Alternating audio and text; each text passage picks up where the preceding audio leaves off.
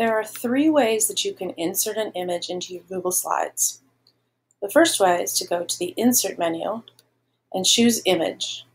From there, you can upload from your computer, search the web, pull one from your drive or your photos stored on drive, if you know the URL of the photo you want, or from your camera. The second way that you could insert an image is with the Insert Image tool from the toolbar. Again, you can upload from your computer, search the web, get it from your drive, your photos stored on drive, a URL, or your camera.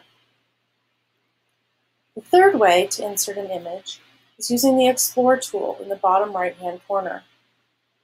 When you click on that, it opens a panel on the side where you can then search, choose your search term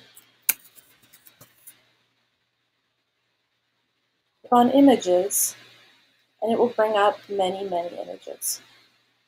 You can then click on that image, drag it over to where you want it, and it will create your image for you.